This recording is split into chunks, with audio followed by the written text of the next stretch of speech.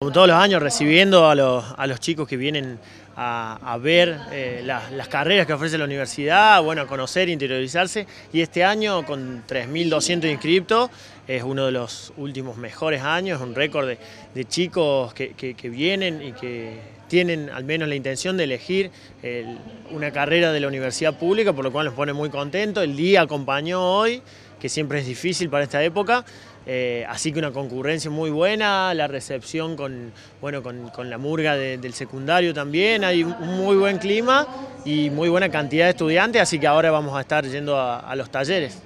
Y la, el acompañamiento, siempre la colaboración de la Federación Universitaria en las distintas actividades. Por supuesto, nosotros hicimos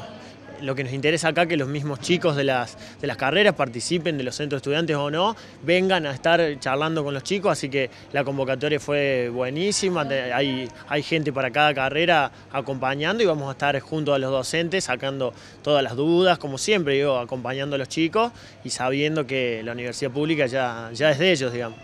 Y la importancia de que sean chicos de distintos puntos del país y de la región también. Sí, por supuesto, la Universidad de Río Cuarto tiene esa característica que es, está ubicada, digamos, en un, sector donde llegan chicos, y por la calidad de su carrera también, llegan chicos de, todos lados, así que, bueno, ya han estado visitando este año muchos, muchos colegios de, los pueblos vecinos, pero hoy la, diversidad de lugares es, muy buena, así que eso enriquece también, como todos los años, a lo que va a ser el ingreso eh, del año que viene, ¿sí?